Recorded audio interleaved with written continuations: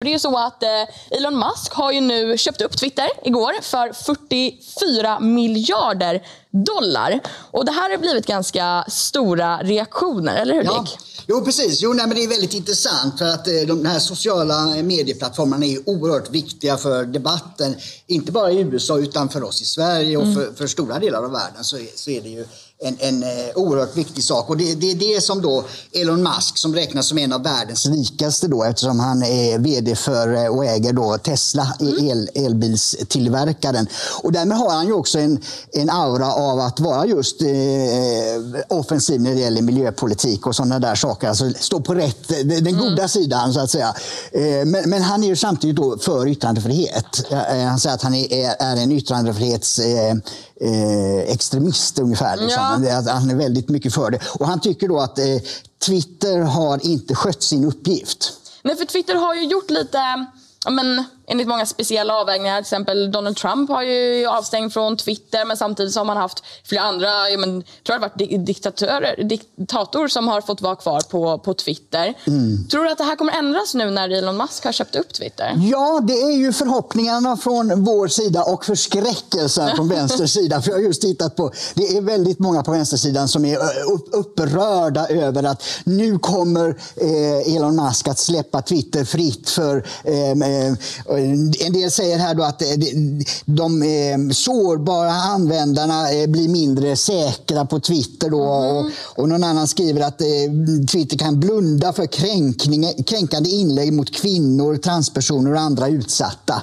Alltså, det, det, det finns en, på vänstersidan en väldigt konstig uppfattning om att man ska tysta allting som någon kan vara emot. Ja utifrån ett vänsterperspektiv. Ja. Vi tycker väldigt mycket som skrivs är korkat och blir upprörda över. Men vi vill ju inte tysta eh, våra meningsmotståndare så som vänstersidan vill. Och, och, och, tyvärr har ju de här stora bolagen gått i den här woke-andan.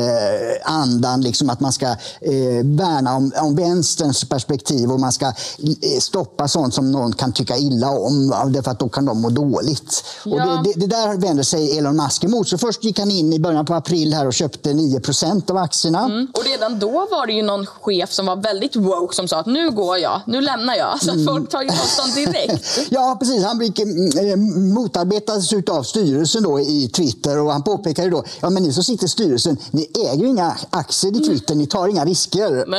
Eh, så att han, han trappade upp eh, striden och, och då när han förstod att de kommer fortsätta motarbeta även om han blir den största ägaren, då bestämde sig för att nu köper jag hela skiten. Mm.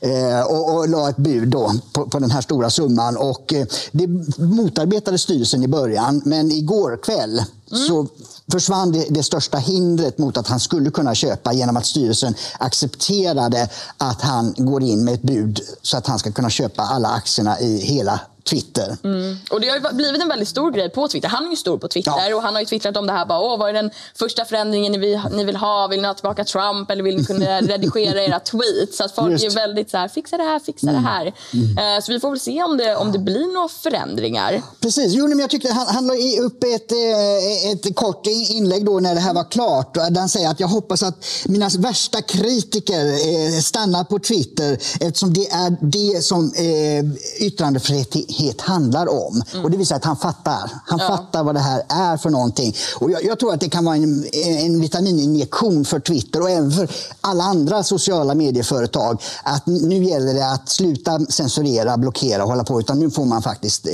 se till att man har en öppen debatt. Och de som eh, inte håller med någon får argumentera emot. Snarare än att nu ska den personen tystas. Det är väl det som blir lite skillnaden. Att högern vill ju, ja, men Elon ja. Musk vill ha kvar vänstern för att ja, kanske ha lite exakt. roliga diskussioner diskussioner mm. men vänstern de vill inte diskutera Precis, ja, men det säger alla filosofer genom århundraden här att ett samhälle utvecklas genom att vi diskuterar med varandra även om vi har olika uppfattningar. För vi lär oss alltid något. John Stuart Mill till exempel sa det att liksom, yttrandefriheten, man lär sig något även om sina meningsmotståndare när man diskuterar. Och det är det som för samhället framåt. Ja, och då får vi helt enkelt se om, om Twitter blir en öppnare plats. Jag antar att du har skrivit en ledare om det här på samtiden.nu. Ja. Då får ni gå in och läsa den där. Stort mm. tack Dick Eriksson. Tack.